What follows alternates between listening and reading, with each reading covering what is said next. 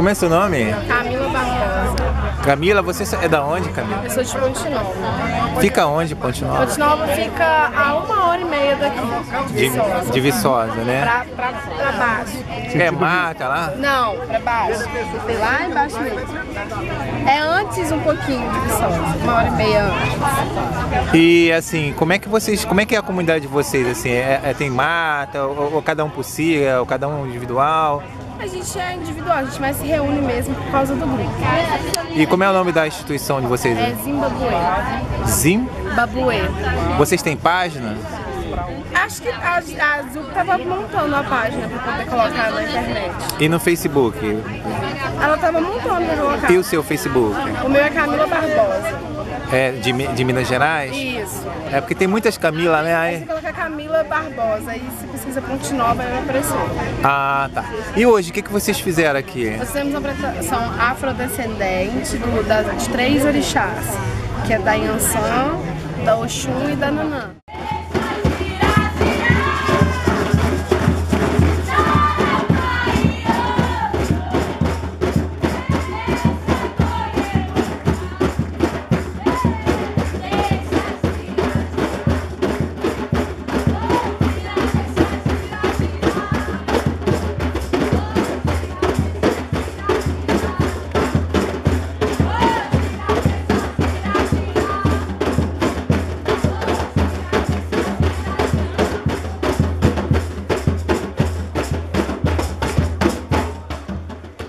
Descreve assim em poucas palavras o que é cada um.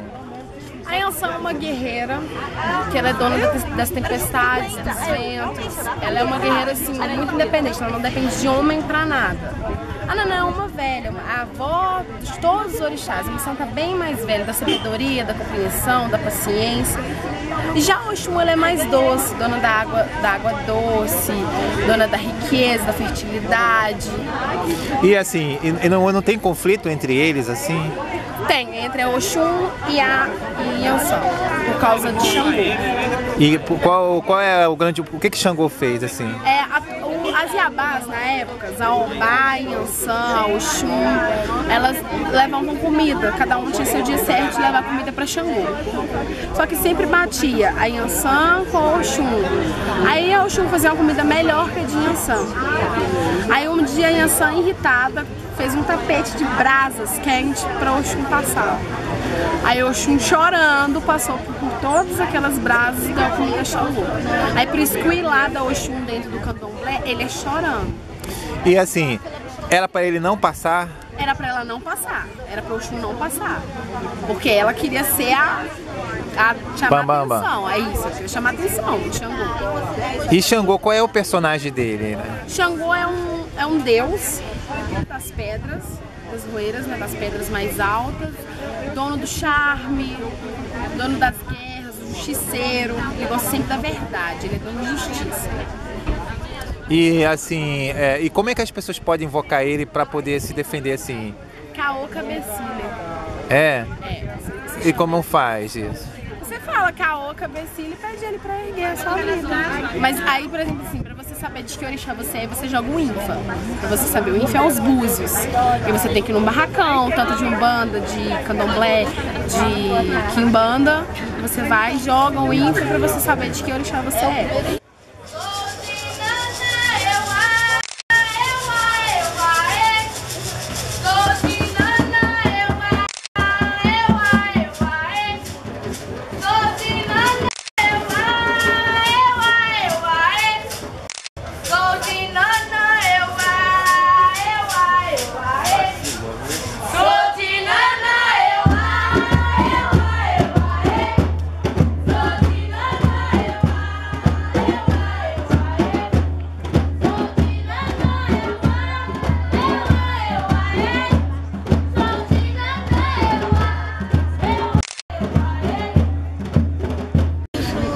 A, roupa, assim, o fato de você colocar a roupa já significa que você já é iniciado ou é, é apenas. é, gente, algum, algumas de nós somos iniciadas.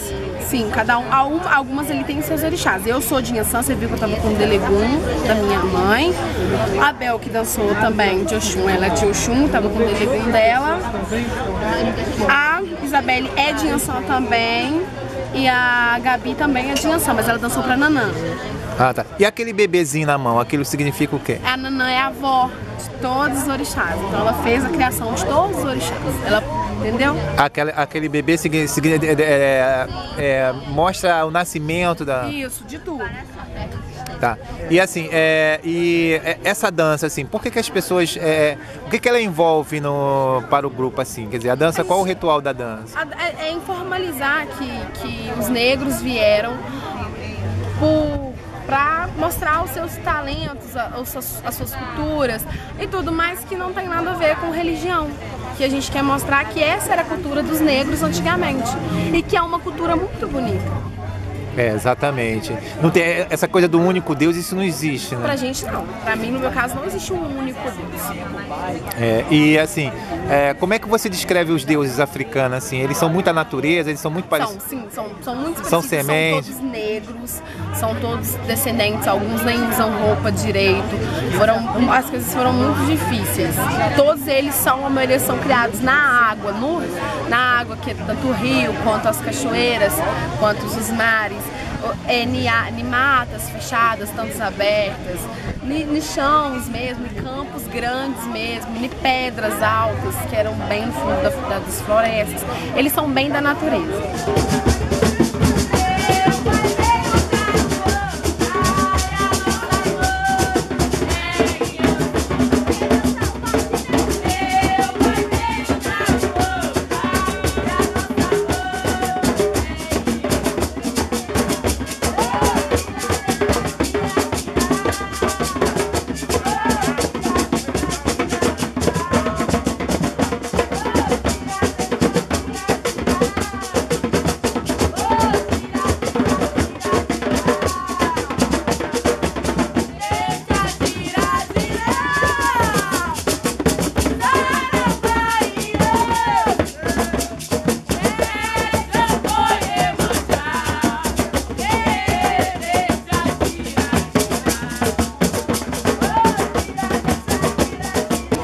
E assim, é, como é que você vê a intolerância sobre a cultura afro?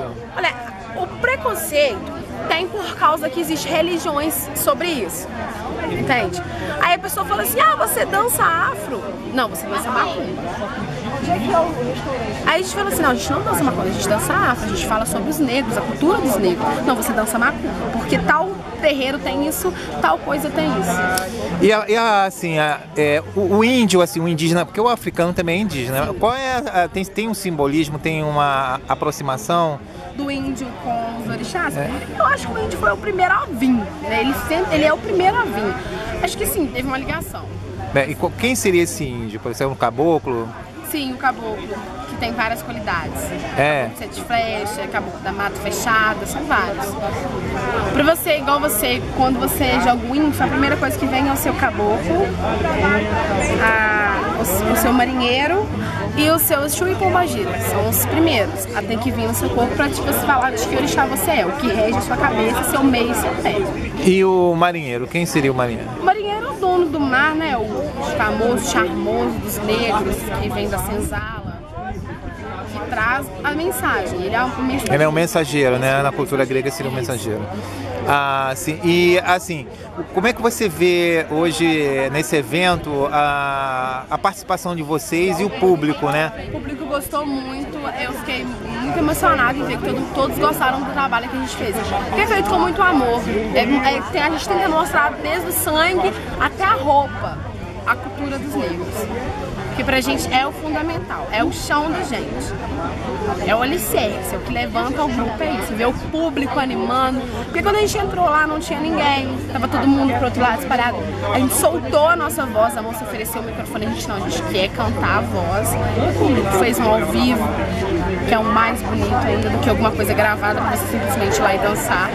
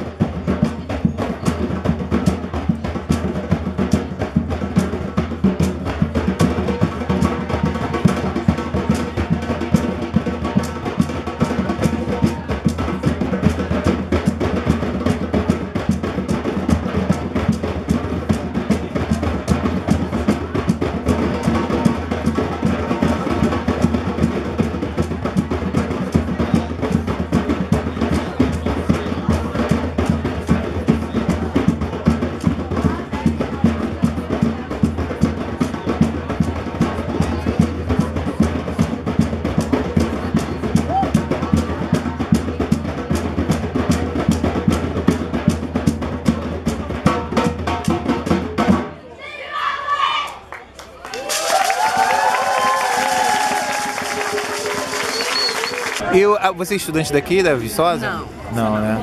Ah, o grupo tem alguma vinculação? Não, né? Só... Aqui não. Ah, tá. Agora, assim, é, você, qual é a mensagem que você dá para os jovens, né, que ainda não tem, no, não tem noção, não tem consciência ainda, Tem né? preconceito sobre isso ainda. Procure estudar, procure conhecer primeiro, antes de julgar, busque. Hoje em dia a gente tem internet, a gente tem livros, a gente tem tudo. Entre na internet, busque, olhe pra você ver que isso não tem nada a ver a descendência do negro com simplesmente com o candomblé. Não tem nada a ver, não é relacionado. O candomblé tem o fundamental, sim, do- da- da- da- dos africanos. Mas não tem, não envolve, não, não, a gente não invoca maldade alguma, ninguém, tem, como diz muita gente, né? Demônios, a gente não faz isso. Procure saber a cultura que você vai gostar.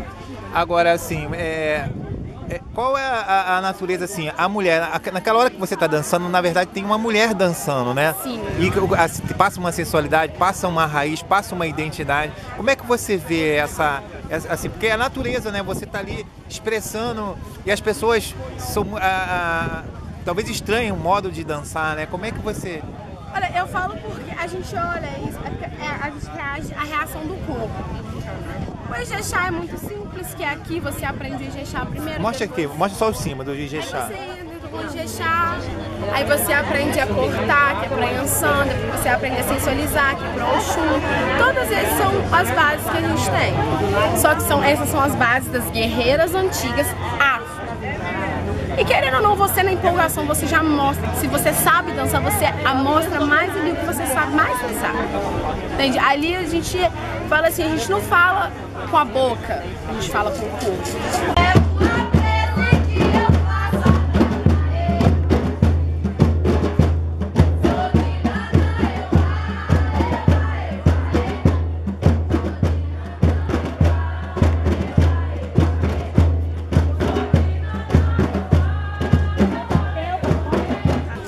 Diferença de você estar lá é, dançando é, no ritual com um grupo e ter e você pessoa no dia a dia, assim, digamos. Lógico, sim, tem. No grupo você tá apresentando a emo- a emoção, tal, tal, ali, pronto, acabou. Aí você fica com aquela emoção guardada e tal. E no dia a dia você continua vivendo a sua vida normal. Mas é assim, uma emoção muito grande quando você tá ali apresentando um público maior, o público tá gostando, ou você, tipo assim, tá muito nervosa e você tem que apresentar e você fica, tipo, daquela adrenalina ótima. E na vida você segue sua vida normalmente. E assim, você percebe uma espiritualidade com você também, assim, Sim, sim. uma entidade? Sim, não, não esteja no meu corpo, mas que esteja ali presente vendo aquilo. Porque querendo ou não, a gente tá dançando pra eles. Entende? Então ele está em volta. Sim, Eles, né? é, eles estão em volta. E, e você percebe a presença. Sim, a gente percebe, a gente arrepia quando começa a cantar alguma música. A gente que, igual eu, sou médio indescendente, eu consigo ver, ouvir e escutar. Entende? A gente sente um arrepio, um calafrio, mas deixa a emoção soltar. Sim.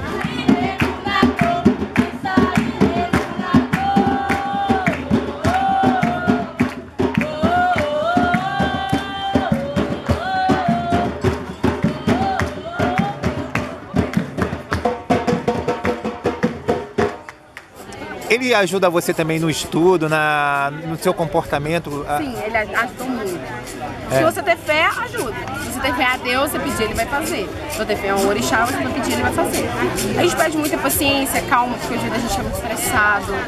Pede, igual eu tenho que pedir muito, mas muita paciência mesmo, por causa da minha sexualidade, porque eu sou lésbica. A gente pede muito isso, paciência, por causa de mãe, pai, a gente pede muito isso. Ah, na cultura africana, quem seria esse personagem, assim, digamos assim?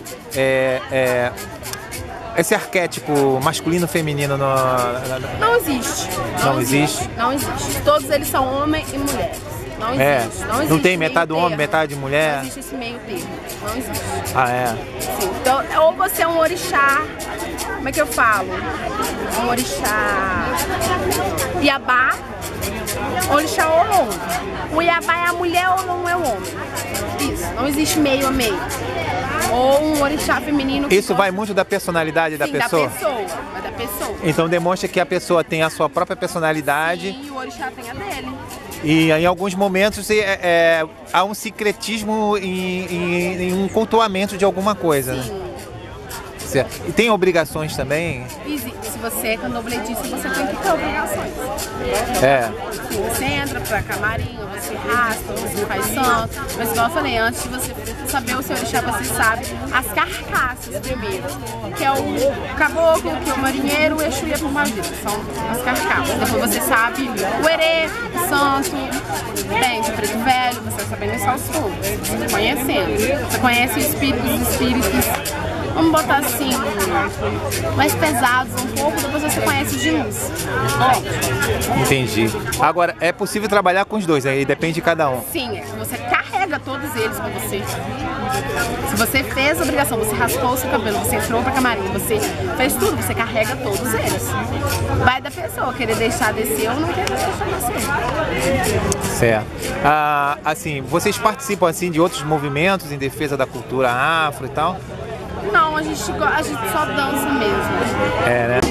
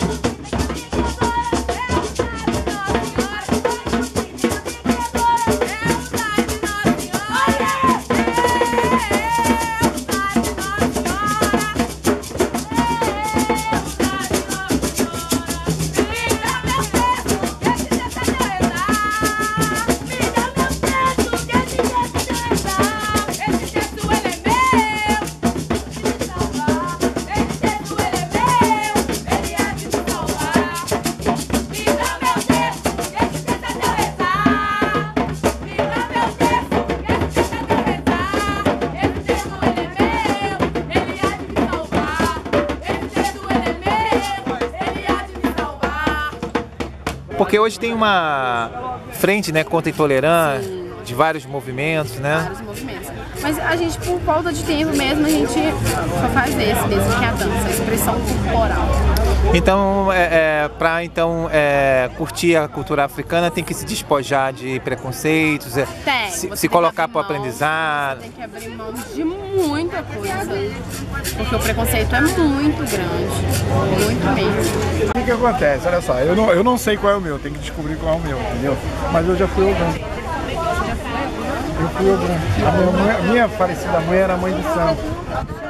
Eu já bati muito. Eu tenho várias pombageiras que me protegem. Já bati muito pra ela. Quais são as, as pombageiras? Entendeu? Eu tenho a Dona Mulambo. Eu tenho o seu sete. Tá? Tenho vários.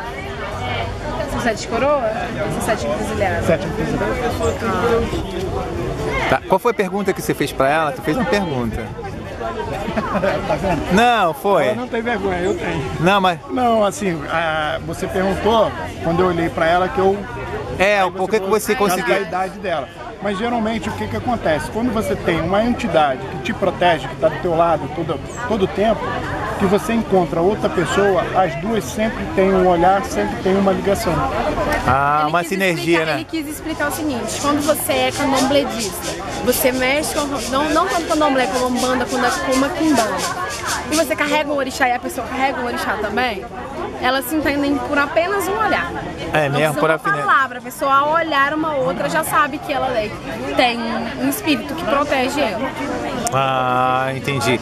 E assim, ô Marcão, o que que você viu é, nela assim que te passou assim esse? Não, nesse caso o que que acontece?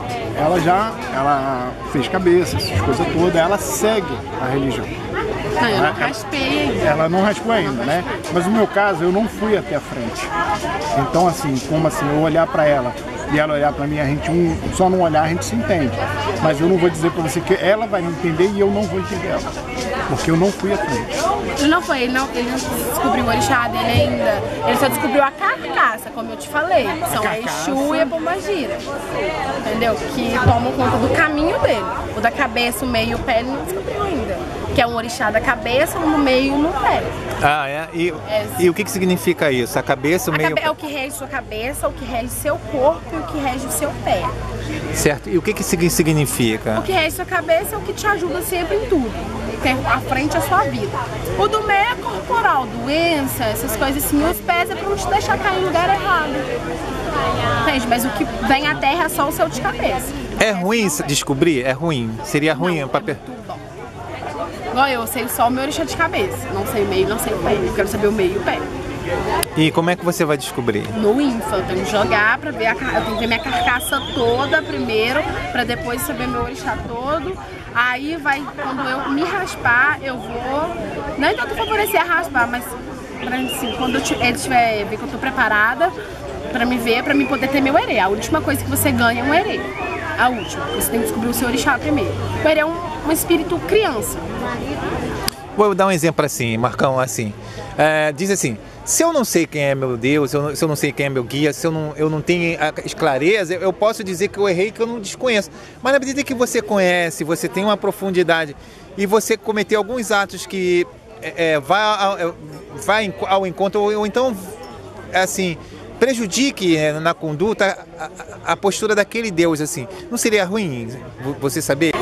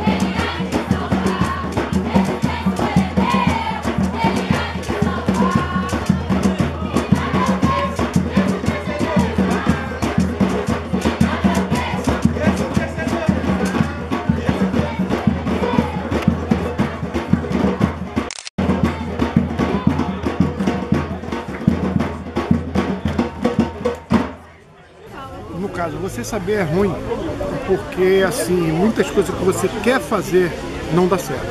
Sim, realmente. Não dá certo. Ainda mais se você, Você- não te cortando, mas ainda mais se você adorar um orixá e você foi lá descobrir que você é de outro orixá. Foi o que aconteceu comigo.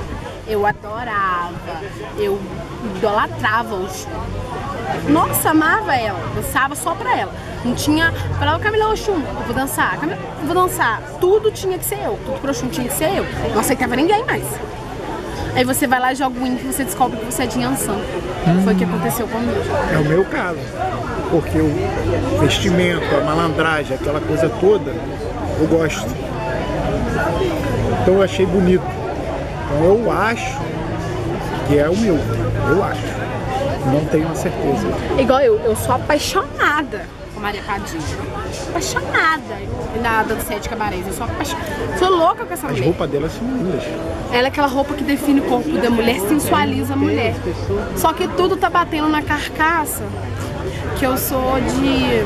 Ai meu Deus, fugiu o nome aqui agora. Eu sou de sete esquinas. Tem uma outra pombagira que ela é mais doce, ela não bebe tanto, não fuma tanto. Ela é mais. Ela é mais, ela é mais vingativa, mas ela é mais. Nada, agora a Padilha dança, se exibe, se sensualiza, consegue. A mulher que carrega a Padilha, ela consegue o homem que ela quer, a hora que ela quer. Ela tem esse dom. A mulher que carrega a Padilha. É, Qual seria a função dela, assim, na, na A? Padilha, a Padilha rege, né? Ela protege o seu caminho, não deixa você cair em caminhos errados, te ajuda no que pode, que é no dinheiro, que é na situação financeira.